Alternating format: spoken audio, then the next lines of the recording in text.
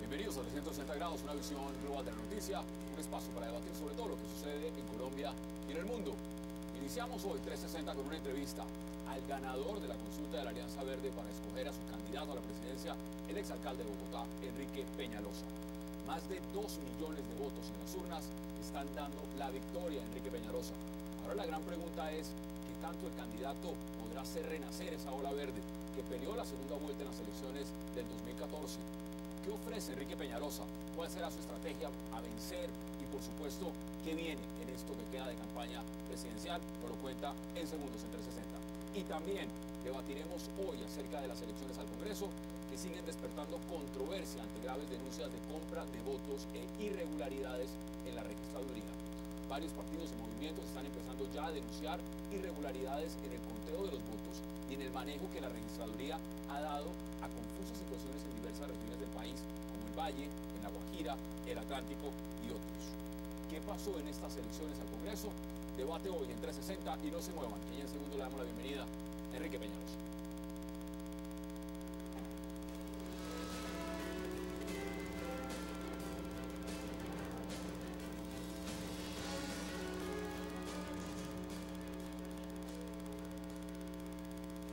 Qué gusto darle la bienvenida al candidato presidencial por la Alianza Verde, Enrique Peñalosa. Un gusto. Muchísimas gracias, Hassan, muchas gracias a todos y a todas los colombianos que votaron por nosotros. Pueden estar seguros que agradezco y que voy a trabajar con todo el alma para merecer ese apoyo. Mire, si hay un ganador de lo que pasó el domingo, fue usted. Aspiraba a sacar más de 2 millones de votos. No, pues de ninguna manera tuvimos, sobre todo esa mañana, un. Yo no sabía si iban a ser 300 mil o cuántos iban a ser. Realmente la proyección es que es casi 2 millones 200 mil votos. De manera que lo que es cierto es que comenzó nuestra campaña. Las colombianas y los colombianos que no quieran más de lo mismo durante cuatro años, ahora tienen alternativa. Los colombianos que no quieran que los que vayan al gobierno sean los recomendados políticos, sino los más capaces de todas las regiones, ahora tenemos un proyecto en el que cual todos podemos participar para hacer una Colombia distinta. Yo creo que los colombianos necesitamos que nuestro presidente sienta como nosotros, que esté hombro a hombro con nosotros en las regiones, trabajando con nosotros para sacar adelante a Colombia. Mire, la cifra no es despreciable y antes de que empecemos a abordar, abordar punto por punto, ¿cuánto sacó Antanas Mocos cuando ganó él esa nominación en la ola verde? Cuando, cuando Bueno, ganó? Sacó como 800 mil. Entonces, o sea, se sacó más del doble. Nosotros sacamos casi tres veces más. De manera que, eh, obviamente esto no significa nada, solamente que podemos participar, pero claramente es casi tres veces más. Sacamos eh, casi lo mismo que sacaron todos los senadores de la U, que es el partido con más votos para el Congreso en Colombia. ¿Cómo es ganar dentro de un partido donde hay oposición? Es decir, Esto es muy importante porque yo sí creo que el partido Alianza Verde lo que significa son tres principios en los que todos estamos de acuerdo, más allá de las diferencias. Primero, una política limpia. Segundo, una prioridad del tema de la igualdad, hacia una sociedad más igualitaria. Y tercero, un compromiso con el medio ambiente. Pero, Hassan, que nosotros tuvimos eh, cinco veces más votos que todos los senadores de Alianza Verde. De manera que este es un proyecto no es solo de Alianza Verde, tiene un corazón verde, tiene unos principios de Alianza Verde, una política distinta, nosotros hacemos una política distinta, nosotros tenemos prioridades distintas y nosotros gobernamos distinto. Pero este es un proyecto para todos los colombianos, para los colombianos liberales, de la U, uribistas, del polo. Alianzas está abierto entonces. No alianzas, porque yo creo que felizmente gracias a ustedes, gracias a los medios, la elección presidencial es la que tiene más opinión y donde importan menos las maquinarias, porque los ciudadanos están informados en su casa y discuten es con su esposo, con sus hijos, con los vecinos, en los barrios, en los pueblos, y realmente no le hacen ningún caso a, je- a jefes políticos. Mire lo, que, mire lo que usted menciona, por ejemplo, con el fenómeno de Claudia López, Claro. también de Lanza Verde, voto de opinión. Claramente, Al Cla- Senado. Claudia López es una mujer joven, amiga amiga que conozco desde la universidad cuando yo era profesor. Eh, tengo el gusto y el, y el de que trabajó conmigo en la alcaldía como directora de acción comunal y hoy irrumpe en la política colombiana una senadora estudiosa, íntegra, valiente. Estoy seguro que va a ser una de las líderes importantes de Colombia de los próximos 20 años. John Sudarsky, Camilo Romero, ¿lo van a apoyar? John Sudarsky y Camilo Romero son, fueron contendores importantes, hice una campaña de altura. Posiblemente me apoyen. Yo estoy seguro que los senadores de Alianza Verde me apoyarán, pero insisto, es que este es un proyecto de todos los colombianos, de todas y todos los colombianos. Yo solamente represento a esos colombianos que nos apoyen, a los colombianos que quieren que haya una Colombia en donde, insisto, los que van al gobierno son los mejores. A mí no me interesa ser presidente, a mí lo que me interesa es hacer como presidente, que llevemos a cabo todo eso que es necesario. Por ejemplo, a los colombianos lo que les interesa es que tienen un problema de salud, que los atiendan bien. Entonces, a los colombianos lo que les interesa no es el tema de los partidos, a lo que les interesa es que cuando su esposa, su esposo, sus hijos están afuera en la calle, no tener temor de que les va a pasar algo, poder sacar un celular a la calle. A las colombianas y a los colombianos lo que les interesa es tener jardines infantiles excelentes para sus niños, tener colegios de calidad, tener acceso a la educación superior. Y esto no es de un partido, este es un proyecto. ¿Y los colombianos? Tres los colombianos saben que mientras los que vayan a los cientos de puestos del gobierno no sean los mejores, los más capaces, los más comprometidos con el país, sino los recomendados políticos, pues los recursos del gobierno no se van a invertir bien, eso va a producir corrupción, eso va a producir ineficiencia y eso es lo que hace que el gobierno haga lo que tiene que hacer en educación, en carreteras, en apoyo a los campesinos y demás. Usted es reconocido por algo que a este gobierno muchos le critican, a este, y es ejecutar usted ejecuta. En el tema de lo que es ejecución, ¿dónde cree usted que están los puntos más importantes si usted fuera presidente que hay que ejecutar en este momento en este país? Dígame tres temas. Bueno, por ejemplo, nosotros tenemos que 8 de cada 10 colombianos hoy viven en ciudades y pueblos y no viven bien, viven con miedo. Entonces es fundamental hacer efectivo ese derecho que se nos olvidó en la Constitución, que es el derecho a vivir sin miedo. Y eso tiene que ver con policía, con prevención, pero también con ciudades bien hechas. Más de la mitad de lo que son las ciudades colombianas ha surgido de manera ilegal, donde no debe ser sin parques, sin campos deportivos. Nosotros vamos a hacer una reforma urbana que se dio haber hecho hace 60 años. Vamos a adquirir grandes extensiones de tierra, vamos a hacer ciudades con parques, ciudades con aceras amplias para que quienes van en llevan un coche bebé, un, van en una silla de ruedas, pueden movilizarse. Ese es un proyecto fundamental, vamos a vivir mejor, son ciudades que van a traer turismo, que van a traer inversión, que van a generar empleo. Segundo, hablando del tema de ciudades además, eh, estamos en el siglo del Pacífico. China, Japón, Corea, y nosotros tenemos ciudades como Shanghái, como Hong Kong, como Singapur, las esta alianza, esta alianza y nosotros, claro, y nosotros, incluso aquí al lado, Panamá, Pujante, aún Guayaquil y las ciudades del Pacífico colombiano son una vergüenza.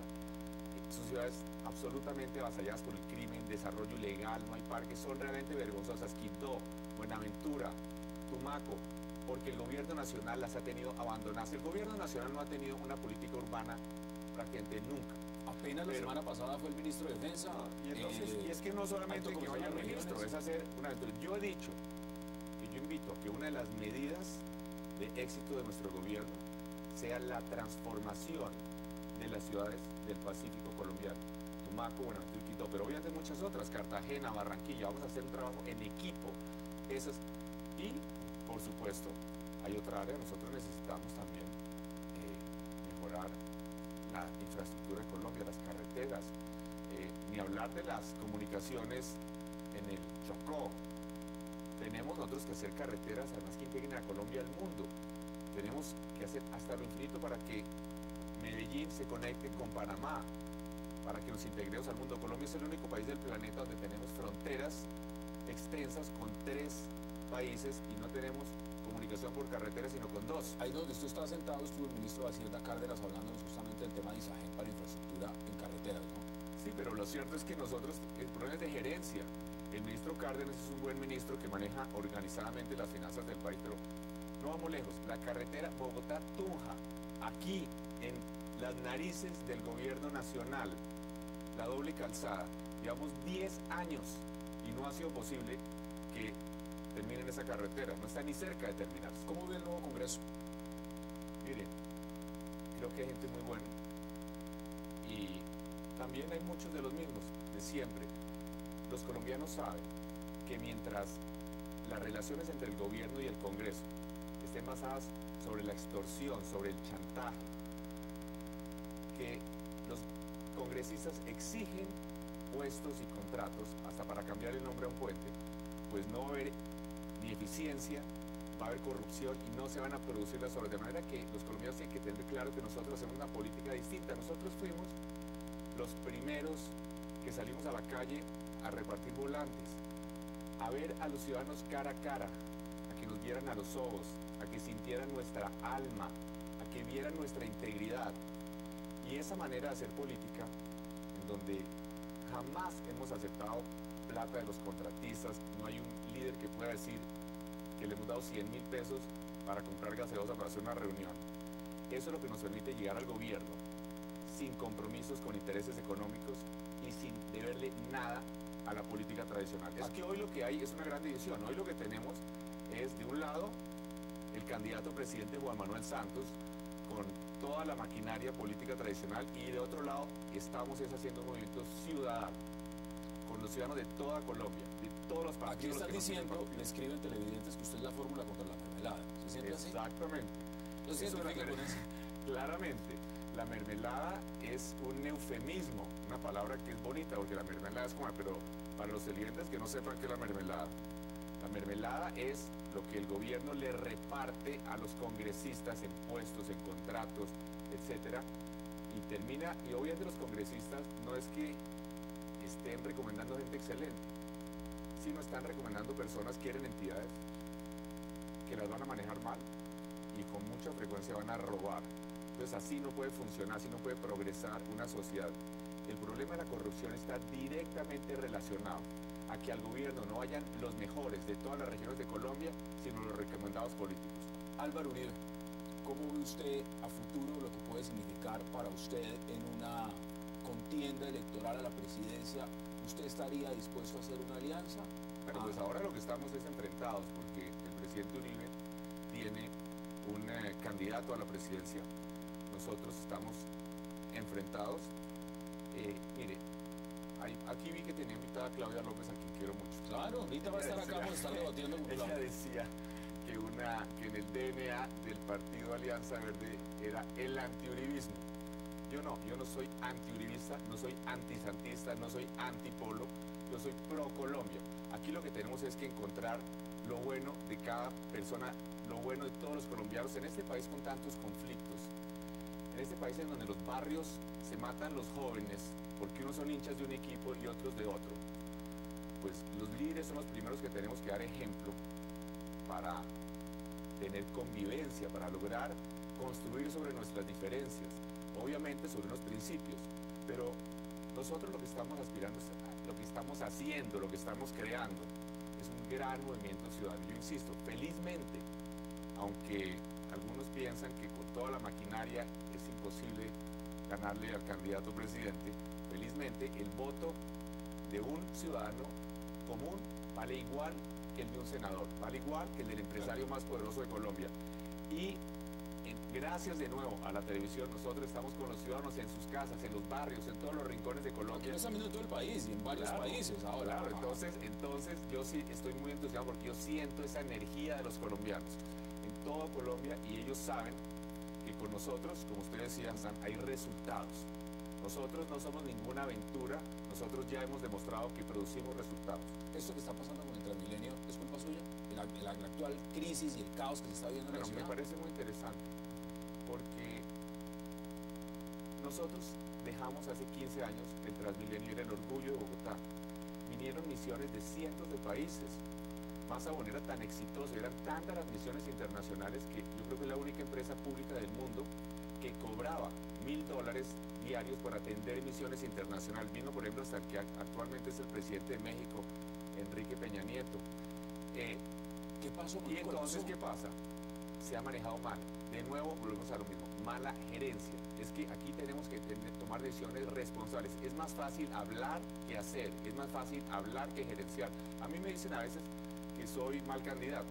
Digo, bueno, si ser mal candidato es no hacer las promesas mentirosas en las que son especialistas los políticos tradicionales, entonces soy mal candidato. Pero, por ejemplo, no engañemos a los ciudadanos.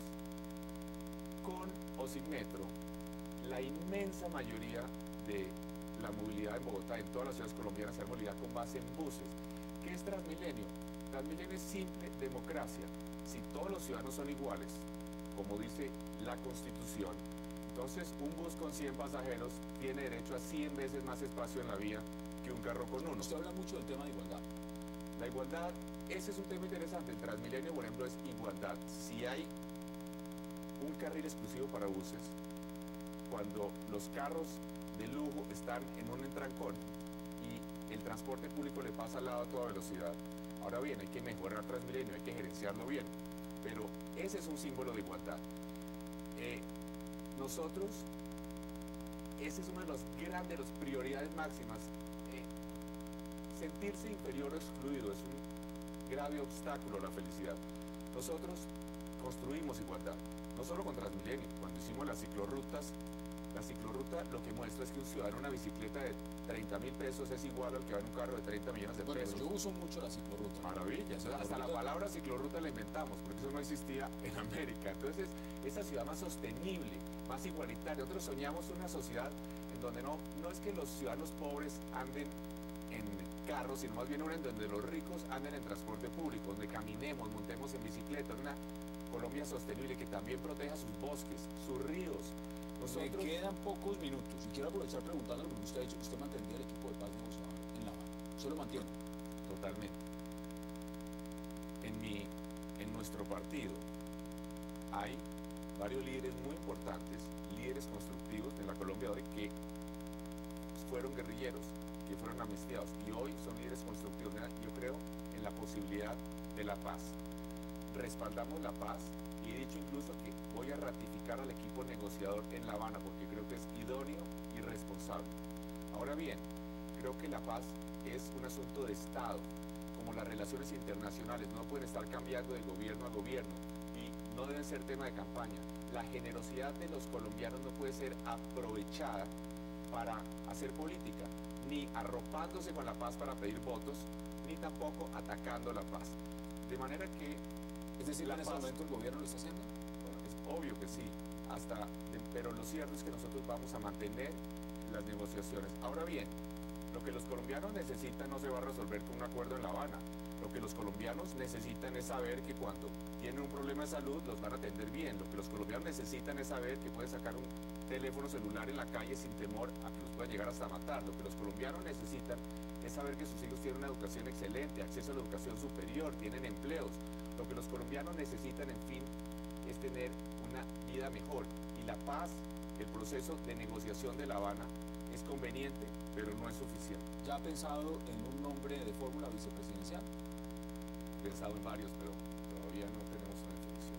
Lo que es cierto es lo siguiente, volvemos a lo mismo.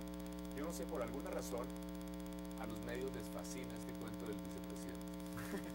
Pero es un tema no sé, yo sé. Y una gran aquí el jueves va a estar el, vicepresidente Emiliano Garzón. Eh, lo, que, lo que es cierto que más importante que el vicepresidente, que obviamente espero que sea maravilloso, maravillosa, es todo el equipo gobierno. Que lo que sí pueden estar seguros los colombianos es que a nuestro gobierno, no solo a nivel de los ministerios, sino de ahí para abajo, no van a ir simplemente los que tengan recomendación política. Los que van a ir son los más capaces de todas las regiones del país, los más comprometidos con hacer una Colombia mejor. Y finalmente, finalmente, ¿es cierto ese rumor que lo están llamando de Casa de Nariño para que se vaya a la alcaldía mejor y no se, y no se meta en las presidenciales? En otras épocas, pero esto en otras épocas lo cierto es que lo cierto es que eh, a mí me interesa, los bogotanos necesitan un buen alcalde, que no voy a ser yo, pero yo como presidente necesito un buen alcalde en Bogotá necesito buenos alcaldes en toda Colombia, porque vamos a hacer un equipo, vamos a mejorar la vida de los colombianos. Vamos a hacer ciudades con parques, con aceras, con transporte que funcione, con seguridad, Estas mejores ciudades van a traer inversión, van a traer turismo, van a generar, empleo.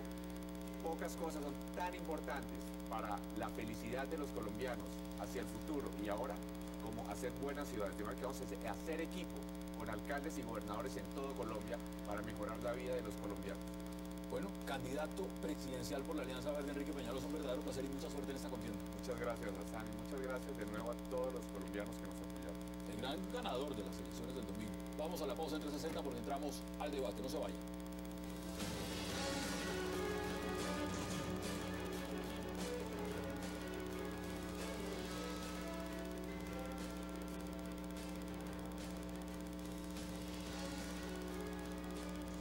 Regresamos a 360 y ahora vamos a debatir y para eso qué placer darle la bienvenida a César Caballero, a Juan Carlos Lancheros y a dos congresistas electas del próximo Congreso, a Claudia López y a María Fernanda Cabal. De paso, mil felicitaciones. Muy merecido ese Bueno, bueno, Claudia, ¿cómo ve ese Congreso? ¿Cómo ve ese nuevo Congreso al cual usted llega además con una votación de voto de opinión impresionante, impresionante?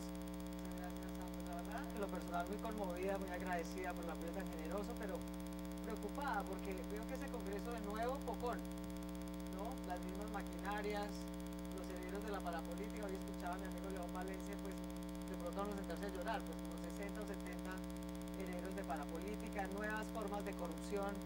Yo insisto, yo creo que desafortunadamente los resultados de estas elecciones Hassan demuestran que lo que dijimos en la campaña es más que cierto.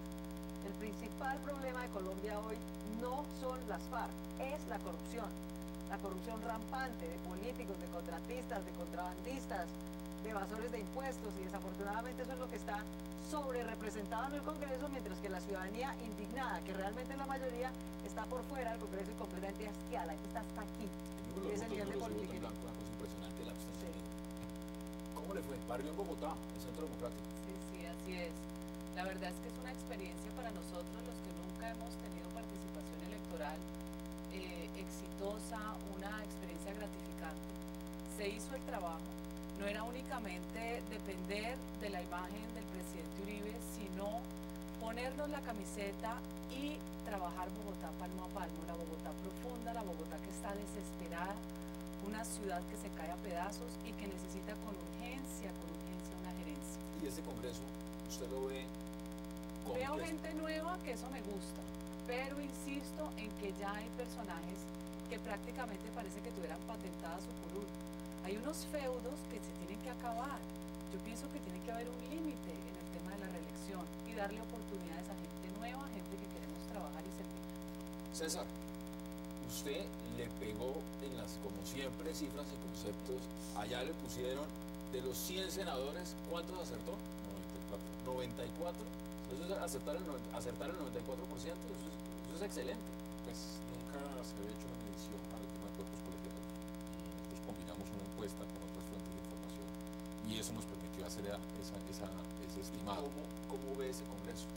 Yo soy un poco más optimista, yo creo que de todas maneras el Congreso colombiano representa un poco lo que es la sociedad colombiana y en ese Congreso deben caber todos los colombianos.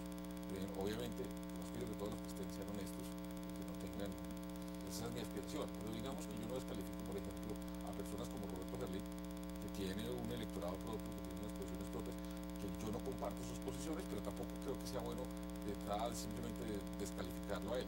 Me alegra mucho María Fernanda Esté, los compañeros de la universidad, eh, y me alegra mucho, me alegra mucho que esté Claudia López, pero igual me alegra que esté el expresidente Uribe, creo que es un congreso. Yo, quiero decirles esto, la comisión primera que va a haber en ese congreso es una comisión primera que yo me imagino que va a ser de tipo como Horacio Serpa, como Vivian Morales, como Antonio Navarro, no sé si Claudia, de pronto, Comisión Primera, con Álvaro Uribe, con Jorge Robledo, con Iván Cepeda, van a ser unos, unos debates muy, muy buenos, muy importantes y muy importante para el país tener un Congreso que tenga mayor vocería y personas con, con una gran experiencia que puedan, eh, digamos, de alguna manera balancear las decisiones del gobierno. Yo soy bastante más optimista que las dos electas. Juan Carlos, usted viene con libros, esos libros ¿Usted cree que muchos de los congresistas ni siquiera saben a qué van al Congreso algunos? Eso es para... Esto es para ellos, para que sepan cómo se tramitan las leyes, algunos... No, aquí saben, aquí saben perfectamente eso lo conocen pero habrá unos que llevan allá varios periodos y no tienen ni idea, puedo recomendarse. Posiblemente porque no, no, no. tasan los proyectos no por su contenido, sino básicamente a ver cuánto vale su voto, es decir, eso, eso es evidente. Eh, pero afortunado, desafortunadamente, el trámite de la ley no cabe en el Congreso, sino cabe en la Corte Constitucional. Y eso es una garantía para los ciudadanos y el hecho de saber qué es lo que ha dicho la Corte Constitucional en esos temas es fundamental, digamos, para que tengamos mejores leyes o, me, leyes menos, menos malas. Entonces, digamos, el trabajo, este trabajo no fue hecho con ingenuidad, sino con, plena paciencia, que es un trabajo para los ciudadanos y para que ellos puedan hacer unas mejores normas. Frente a lo que dice, dice César, yo tengo un par de y es lo siguiente. Efectivamente, la renovación es escasa. Yo creo que va a tener en, este, en esta legislatura el tema del control político un mayor peso. Digamos, figuras como Claudia van a ser supremamente relevantes en todo este ejercicio. Me preocupa el tema de la función de porque Colombia sí necesita unas grandes reformas. Y desafortunadamente el, el, el número de congresistas que repite es tan alto que vamos a tener un poco más de lo mismo. Entonces ahí va, vamos a tener una dificultad y es quién es el que gerencia la agenda legislativa. Bueno, y tenemos en materia, ¿usted cómo cree que le fue al gobierno, la Unidad Nacional en ese Congreso? Yo creo que fue bastante regular, la verdad. Eh, obviamente ahí sacaron el titular de que la U había ganado, es decir, la U ganó el número de curules, pero perdió curules. Y perdieron Bueno, aquí es también el los único otros. país donde se declara ganador perdiendo curules. ¿no? Sí, es del gobierno pierden curules y todos se quedan ganadores. Pero bueno, yo la verdad creo que al presidente le fue bastante regular en esta elección por fortuna, porque es que el nivel de corrupción y de arrogancia del gobierno en esta elección fue grotesco y es bueno que eso tenga un castigo. Tiene unas mayorías ahí enclenques, digamos, ya veremos, digamos, cómo las, cómo las sigue administrando. Si las sigue administrando con corrupción, lo que va a hacer es profundizar la crisis de gobernabilidad que va a tener. Y además, pues a, nuestro, a nuestra consulta presidencial le fue bastante bien, como estaban comentando ahorita Enrique Peñalosa, nuestro candidato, más de dos millones de votos, él que ganó de una manera contundente. Yo no voté por él, voté por Jan Subarsky, pero perdí. Él ganó legítimamente y así son las reglas del juego, la, la máxima mocusiana. Y que lo apoyen. Reglas ciertas para resultados inciertos. Hay una regla clara, la consulta, ahora hay que eh, apoyar al que ganó. Obviamente todos confiamos, todos, todos tenemos el la preocupación de que nosotros no queremos ser el proyecto antiuribista, pero sí somos claros que somos un proyecto distinto. Entonces ¿Y lo importante si- es que... siente que le fue al Centro Democrático? no, al Centro Democrático le fue bien. Al Centro Democrático le fue bien. Eso es un hecho claro, contundente, digamos, es una bancada muy importante. En Bogotá les fue excepcionalmente bien, además. Eh, eso es inocultable, pero también si uno mira, digamos, como en perspectiva histórica, pues la última vez que el presidente Uribe ha ido a las urnas ha tenido casi 10 millones de votos, van dos. Yo siento que es un proyecto respetable, que va a tener un rol muy destacado en el Congreso, espero que constructivo, pero la verdad es que es un proyecto que tiene más pasado que futuro. ¿Se lo ve igual? No, por ¿Más pasado supuesto que que no. Yo creo que el presidente Uribe marcó un hito en la historia de este país cuando llegó en el año 2002 y finalmente es un reconocimiento que tiene la gente. A eso se mezclan muchas variables. Se mezcla un mal gobierno como el de Juan Manuel Santos y un pésimo gobierno como lo de eh, que pasa en el distrito con Petro. Todas esas variables se juntan y la gente ve que quiere nuevamente que haya orden, que haya autoridad y ve en el presidente Uribe esa figura. Adicionalmente, mire, Bogotá para nosotros fue un reto porque Bogotá es una ciudad demasiado compleja. En Bogotá se mezcla todo. Aquí hay indiferencia, aquí hay bogotanos, pero hay una cantidad de provincia. Acá es un pedacito de Colombia que se recoge. Antes Bogotá no era de nadie, hoy Bogotá es de todos porque el deterioro de la calidad de vida nos afecta a todos. No podemos seguir con el discurso de la lucha de clases ni con ningún tipo de estas esquizofrenias cuando aquí lo que queremos todos es vivir en un mejor país y en una mejor Tengo ciudad. que ir a una pausa obligatoria. Inmediatamente volvemos a recibir la palabra a César y Juan Carlos de los demás. Vamos a la pausa en 360 y ya regresamos.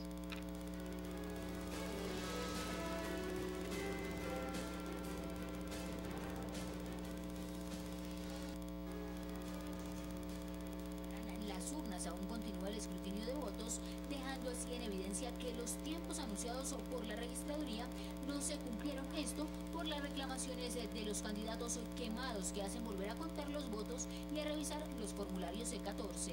se deben abrir todos los sobres, se tienen que abrir, se tienen que sacar todas las actas, han habido recuentos, piden recuentos, vuelve y se cuenta todo. Por eso es tan demorado, en Bogotá eh, hay escrutinios que se han demorado hasta un mes, por lo demorado que es, de puede ser 8 días, puede ser 15 días, eso lo va dando la cantidad de reclamaciones, este es un proceso fuerte, muy grande, tenemos 776 candidatos al Senado de la República y todos sacan votos, Sin embargo, la registraduría advirtió que las reclamaciones no pueden ser generales. cada reclamación se tiene que presentar por cada mesa de votación y tiene que ser razonado, fundamentado por los abogados, los candidatos o los testigos electorales. No pueden haber reclamaciones generales donde se dice pido recuento de todo Bogotá o pido recuento de todo el puesto de votación, por ejemplo, de mi Unicentro, que tiene 149 mesas de votación, tiene que ser una a una y tiene que ser fundamental, tiene que ser razonable. También se conoció que durante la revisión de los votos algunos estaban siendo contados como nulos porque la tinta del marcador con la que eran marcados se traspasaba. A lo largo de, de la- de los escrutinios hemos observado es que con el- la tinta empleada para la marcación de los mismos pasa, ¿sí? evidenciando entonces con ello una doble marcación, incurriendo los jurados de votación a, a anular los votos por lo mismo que les estoy refiriendo, la doble marcación. En total son 1.889 comisiones escrutadoras en el país, de las que hacen parte jueces, procuradores y delegados de los organismos electorales. Regresamos a 360. Estas elecciones, ese fue uno de los puntos importantes, César, el tema de si hubo fraude, apagón, si los votos, es claro que el tema de los votos nulos fueron muchísimos, más de un millón, cuatrocientos mil votos nulos. Eh, ¿Cómo usted ese elemento? Mire, dos cosas que hay que entender. Lo que pasa es que uno tiene que leer las reglas del juego que hay en Colombia para entender cómo funciona esto.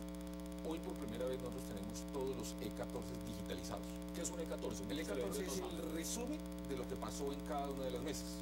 Y ahí pueden haber errores de buena fe ¿Usted de lo puede consultar, lo consultar yo E14? En, en la página web, en este momento, todos. Entonces los candidatos que están diciendo que hubo fraude, lo primero que deberían hacer es organizarse y trabajar revisar. Entra uno a la página registrada Y ahí usted ve y ahí aparece el link Ahí E14 está. y se mete. Partido que le pide a la registraduría hoy eh, el archivo, lo puede hacer, o ciudadano que quiera entrar, lo puede hacer, hoy le puede hacer. Entonces, yo quiero consultar, por ejemplo, hoy cómo votaron en un En municipio. Amalfi, en la Amalfi, mesa bueno, 2, usted puede entrar en este momento y ahí lo ve porque está el resumen. Y ahí usted puede ver, porque eso es una foto, si hay error o no hay error. Entonces digamos que eso creo que le da una garantía para poder hacer este ejercicio. Yo, yo he estado en otras campañas electorales y normalmente uno tenía que mandar, si tenía alguna duda, mandar la gente hasta el municipio donde estaba la comisión escrutadora. Primer tema están los E14 todos digitalizados. Entonces en vez de, digamos, de decir aquí hubo fraude, inicialmente yo lo que diría es, revisemos primero, ahí están los datos. Segundo tema, un- una aclaración a la nota que acaban de hacer ustedes. Este proceso que comenzó hoy no lo hace la registraduría, lo hace el Consejo Nacional Electoral. La registraduría entrega los E14, entrega los votos y las comisiones escrutadoras son las que empiezan Bueno, no a hacer si- estos no sé si usted cuenta es más dramático, que era mejor que lo hiciera la registraduría que el Consejo Nacional son dos órganos distintos. Pero, pero, a ver, yo un poco lo que quiero decir es, mientras, mientras el, el reporte que tenemos oficial hoy lo produjo la registraduría y están los tarjetones digitalizados para que todos los podamos ver, hoy están las comisiones escrutadoras y yo creo que es sensato que haya candidatos de todos los partidos. Porque yo le voy a decir una cosa, Mira, yo entiendo que Mira está haciendo una revisión juiciosa y entiendo que todos los candidatos deberían estar haciendo la revisión juiciosa pues, para cuidar sus votos y para ver si hubo problemas, poderlo contrastar. La sociedad colombiana nunca había tenido eso, ese sistema. Ese- eso no, es- no está. Mí Y yo creo que eso, eso A mí da me da mucha pena tranquilidad, decirle a pero- pero- César pero que el sistema, está caído desde ayer. No, hemos yo- podido consultarlo. no, no, eso no es cierto. Yo acabo Claro de entrar en la oficina de Hassan y lo miramos. Si acabaste de entrar, lo pero- subieron hace media no, hora. Estuvimos con los técnicos no, pero- ayer, totalmente caída la página. pero te voy a decir una cosa. Una cosa que los partidos pueden hacer para mejorar eso es pedir una copia digitalizada de todo el archivo. Ustedes tienen el derecho a hacerlo. Pero pueden Lo que pasa es hacerlo. que- Lo que pasa es que si se van a poner simplemente a, a decir que es que los les ha ido mal con el E14. Nos ha ido pésimo con todo. Con el Consejo Nacional Electoral pésimo. La registraduría no le da confianza a nadie. Yo les digo una cosa, yo nunca he estado metida en escrutinios hasta la locura de ayer. Si usted no tiene un ejército, un ejército de testigos peleando contra los jurados, peleando dice, contra una mesa de justicia. Yo tengo testimonios de testigos que prácticamente le llamaban a la policía para que dejara de molestar. Tengo testimonios donde me dicen, mire, es que nos anularon votos por poner la X en la parte en blanco, que es la parte que los partidos que tienen eh, lista abierta tienen los números. Yo misma le pregunté al señor registrador delegado que por favor me garantizara que iban a ser válidos y él prácticamente me contestó con mucha displicencia, como diciendo que usted no ha leído el manual con el que se capacitan testigos, con el que se capacitan jurados electorales. Entonces yo creo que los votos nulos van una cantidad de votos nuestros y me supongo que de algunos No, todos los partidos. que ¿Dónde? se- Hassan, pero es que, a ver, Sí. ¿cuántas veces vamos a tener que soportar el debate del voto electrónico? ¿Cuántas veces? O sea, Y la ¿cuán- identificación por eso, biométrica, Y la pues. identificación biométrica. Es decir, yo, respetuosamente, yo, como el registrador duerme tranquilo con 1.400.000 votos nulos. O sea, el tarjetón fue un absoluto, un absoluto desastre. o, o- o vamos a defender el tarjetón a esas alturas de la vida. Y el tipo de marcador que se utiliza como si es que en Colombia nunca se hubiera votado. Entonces, hay unos errores que son estructurales. ¿A quién, le conviene, ¿A quién le conviene Claro. el tema de la abstención? ¿A quién le conviene? O sea, ¿cuándo va a haber una política del Estado decidida a acabar con la abstención? ¿A quién le conviene la abstención? A los que tienen la maquinaria política. Obvio, Obvio. obvio. Entonces el resto del 50% del país que lo vamos a tener quejándose durante cuatro años porque el Congreso no sirve, entre comillas, para mayor cosa, entonces, ¿dónde están las políticas que estimulan la, La participación de los ciudadanos? En ningún lado. La registraduría es un desastre, es un antro de corrupción. Se lo digo yo que gané, porque me pareció muy respetuoso lo que dijo esta mañana el registrador. Es que en este país hay dos tipos de candidatos, los que ganan y a los que roban la registraduría. No, señor. En este país hay ganadores y hay perdedores, y hay perdedores por cuenta de la corrupción de la registraduría. Y no lo digo solo ahorita. Eso es lo mismo que llevamos diciendo ocho, seis años que trabajé en la misión de observación electoral. La corrupción es rampante, rampante en la registraduría. Venden combos. ¿De qué sirve el E14 si venden prearreglado el Sí, claro, E14? es- Prearreglado el E14, como ocurrió en el Valle con funcionarios que eran del despacho del registrador, todo en la más absoluta impunidad, una cosa vergonzosa. El registrador lo que hace es, cada vez que se llega a la elección, chantajear, pues, chantajear como cualquier politiquero del Congreso al gobierno para que le dé plata. Siempre dice que las elecciones no se van a poder hacer, que esto es terrible, que esta vez sí no se va a poder, que vamos a ver si ahora, ahora sí vamos a implementar la biometría y el voto electrónico lo estamos estudiando muy detalladamente y lo único que hace es extorsionar con un poco de plata para seguir el mismo sistema nefasto, violable, corrupto que tiene. Entonces, la verdad es que si alguna entidad, doctora María Fernanda, creo que vamos a hacer eso en conjunto, hay que meterle la mano seria para trancar la corrupción que tiene la registraduría, porque si en este país no tenemos garantías para competir, yo sí creo pues en las máximas mocucianas, pues, ¿no? Reglas ciertas para resultados inciertos. A mí no me importa ganar o perder. En unos sitios ganamos, en otros sitios perdimos, pero con garantías.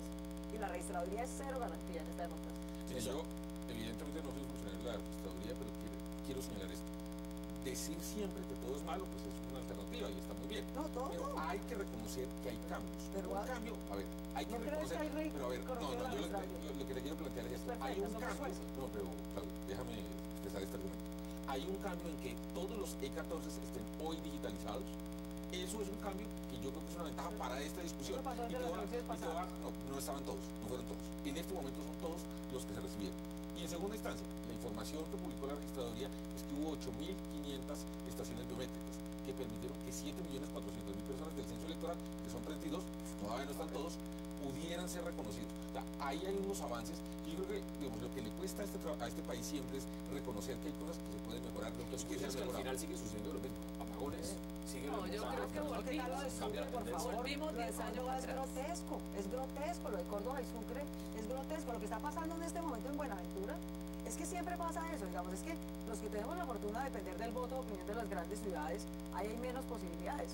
Pero vaya usted, como mi pobre amigo Guillermo Rivera, semejante congresista tan maravilloso, que se está quemando por miserables 300 votos. ¿Por qué? Porque su votación depende de un poco de pueblitos que dejan al final, que empiezan a cuadrar a ver a quién le venden el combo y cómo le aseguran la cosa.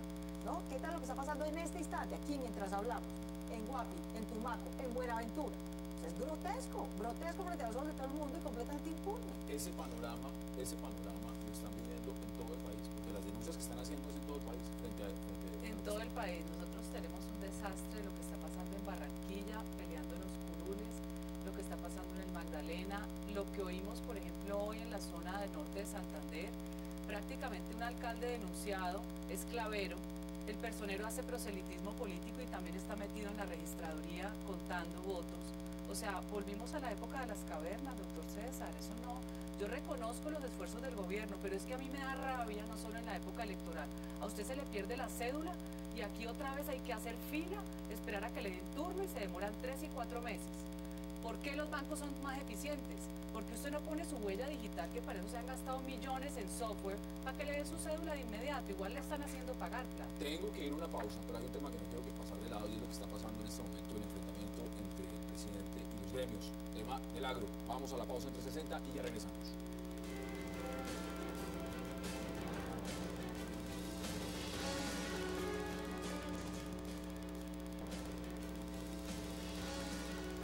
Regresamos a 360 y ahora vamos a de lo que está pasando entre el gobierno los gremios. ¿Usted cómo lo ve? Pues hombre, a mí la verdad me sorprendió. ¿Qué nivel de arrogancia del presidente? Presidente, si algún tema vamos a discutir los colombianos con lupa, es el de los acuerdos de paz. ¿Cómo es posible que el presidente de un gremio con el que yo tengo que decir que no estoy de acuerdo en sus posiciones, el de la SAC, hace unas críticas que a mí me parecieron razonables y ponderadas sobre lo que se está acordando en el tema eh, agrario, lo citan, lo callan, lo regañan, o sea, así va a ser la discusión sobre los acuerdos de paz, presidente. Nos van a regañar a todos, nos van a dar sombrerazo para que nos retractemos. Váyase preparando, porque si algún tema vamos a mirar con lupa los colombianos son los acuerdos de paz. Tema agrario, Fedegan fue uno también de los que no estaba desde un inicio.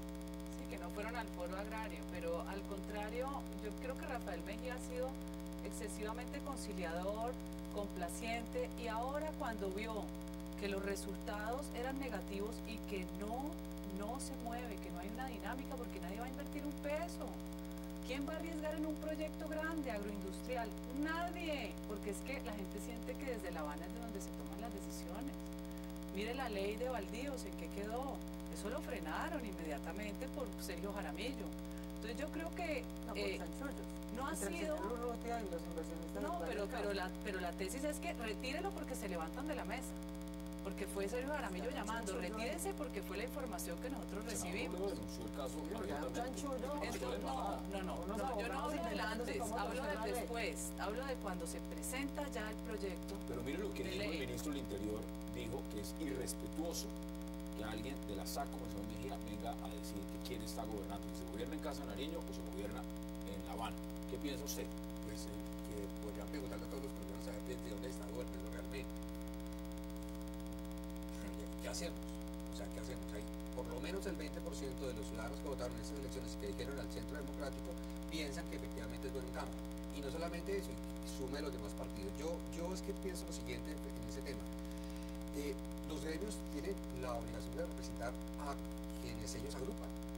Y si ellos no tienen la posibilidad de opinar en contra o de pretender algo más en el desarrollo, o sea, decir, si Colombia, pues, si opinión. Colombia fuera una potencia agrícola, pues estaríamos ah, discutiendo sobre, sobre bobadas, pero resulta que nosotros tenemos en una crisis muy profunda el campo colombiano y, y obviamente preocupa la seguridad jurídica para ver qué tipo de proyectos adicionales nuevos que generen empleo, que generen riqueza van a llegar. Y en la medida en que no existan reglas claras, pues Ah, pero yo no vamos a... Yo conozco a Rafael Mejía, tengo un- el, el mejor concepto de Rafael Mejía, creo que es un hombre ponderado, tiene posiciones que a veces yo no comparto, pero sí creo que el gobierno se está equivocando de la manera como está tratando esto. Estamos hablando de un- una voz que en algún tema es disonante y me parece que la crítica es absolutamente necesaria.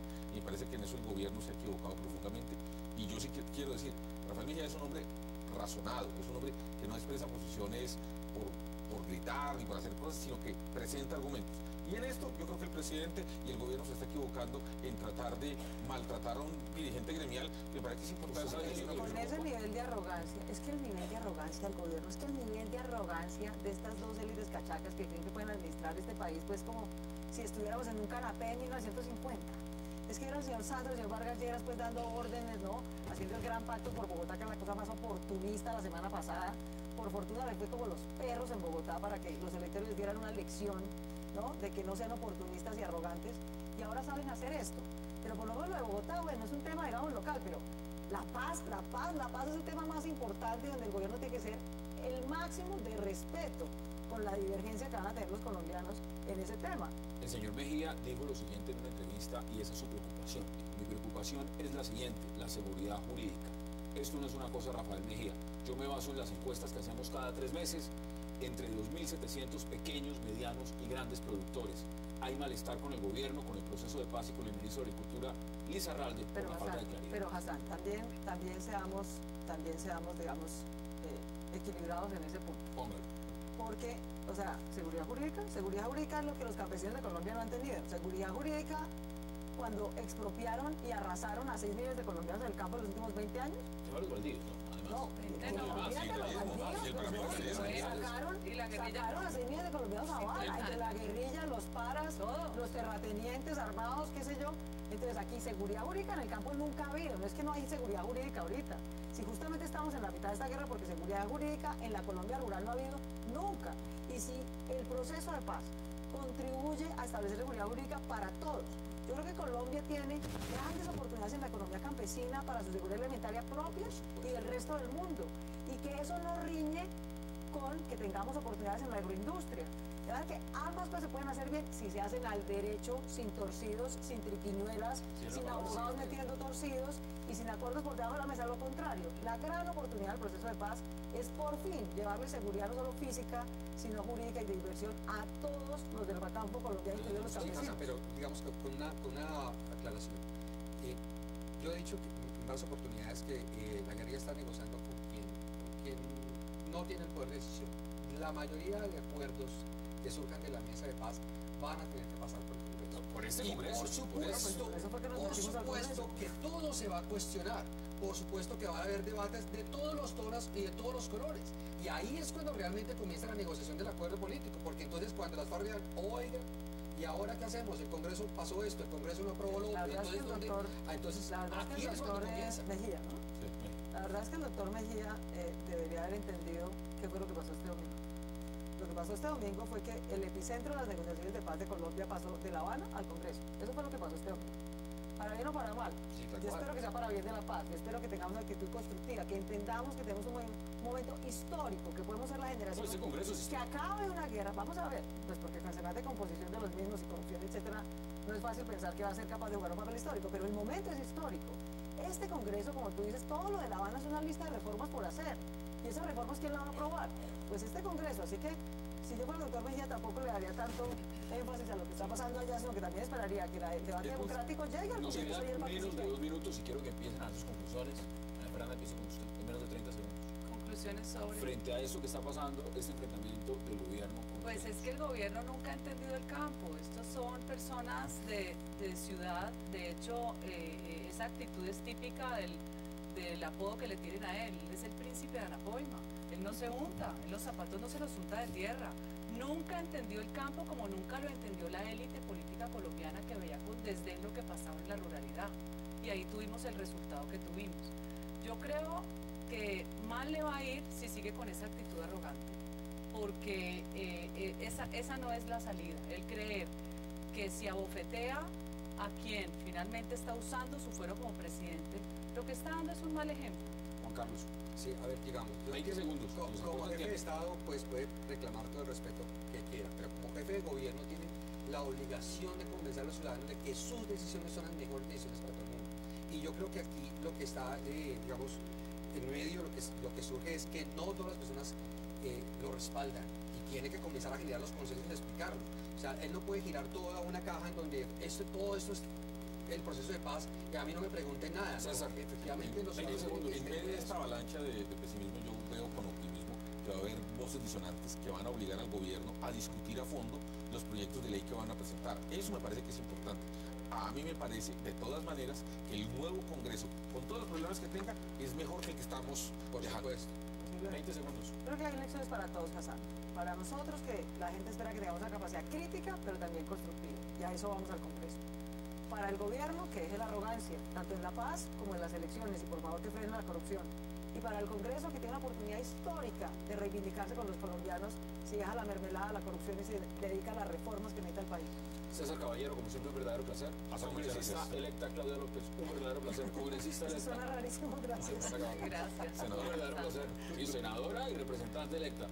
Y Juan Carlos Lancheros, un verdadero placer. Muchas gracias. A ustedes gracias por acompañarnos. Nos vemos mañana de nuevo a la misma hora, 8 pm, para seguir debatiendo toda la agenda política de Colombia y del mundo. Y gracias por acompañarnos.